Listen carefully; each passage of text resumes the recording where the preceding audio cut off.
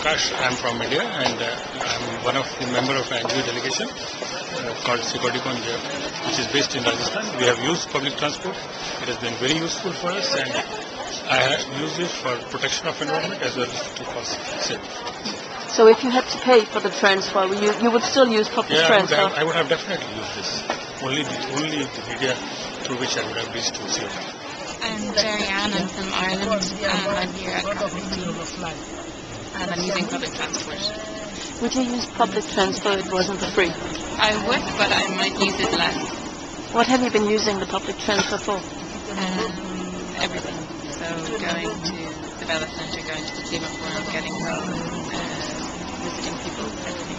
I'm from Solomon Islands. My name is Ren Sure. A delegate from Solomon Islands attending COP15. And you have a transport card that offers you to go free around in Copenhagen. I have a card uh, here given to me by the organizers and use that card for transport Yeah. to go to the meeting. If you haven't received a card, would you do the public transport anyway?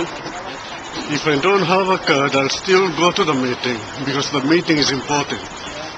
I, I'll still have to attend the meeting. How, how would you go to the meeting? I still use the public transport. I'll have to pay it my, my own. So I'm Geoffrey Celestin from France, and uh, just wanted to mention that uh, uh, the fact that uh, the, the tra- public transportation are free is really important for, for us as a signal for climate change, I would say, and uh, that's a very important that's a very important signal. If the transport hadn't been for free, would you have done the transport anyway? No, I think uh, that's uh, that's really important for people uh, to, to know that public transportation are, are free. That's a very good measure implemented Yeah. by Denmark.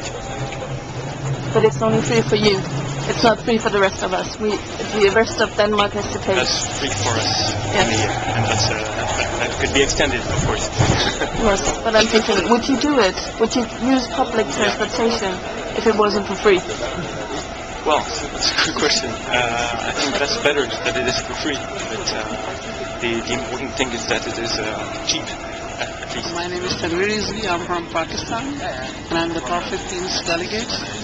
And, uh, what are you asking for next? The transport? The, the transport for this because uh, we are using the public transport. This is because of the fastest way to reach somewhere.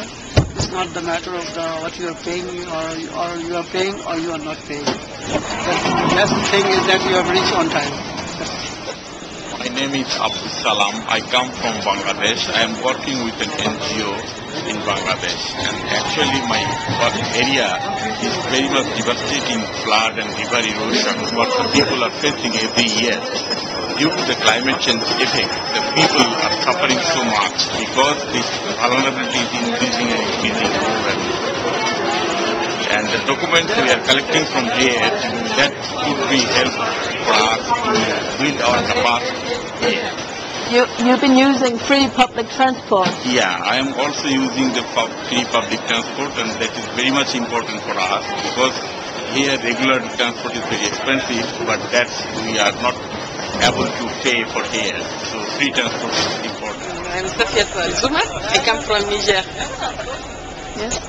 And I can see you're in a public uh, transportation system. You're in the metro. And you go for free. Yes, it's free for us Yes. until 19 December. Yes. It's free for us. Would you use public trans- uh, transportation if it wasn't free? Yes, it's free. Yeah. But if it, if it would cost you money, would you still use it? You're just telling me just before. No, it just, yeah. No, I think that I will use it because it's uh, it's affordable for us. It's very affordable. It's uh, available because everywhere we have station, bus station and the metro station. So I don't think that will be a problem to use it. No. You would use it anyway. Yes, anyway. I will use it. Thank you very much. Alberto Carriam Antonio. I'm a judge of the Environmental Court of the State of the Amazon in Brazil. I came here as a delegate from the city of Manaus in the Amazon state, which is so far the most well-preserved state in Brazil. We have 98% of our forest intact, by the way. Uh, I'm utilizing your public transportation Uh, and I, I, the way I see it, my perception, my personal perception is, is very accessible, very easy for us foreigners to utilize. So in a way, I believe you are in a very well-structured system of public transportation.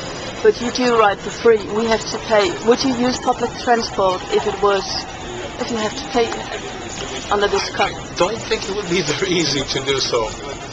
Uh, some rates probably are very expensive, but we've been offered to utilize these free tickets in order to have uh, full access to be there every day.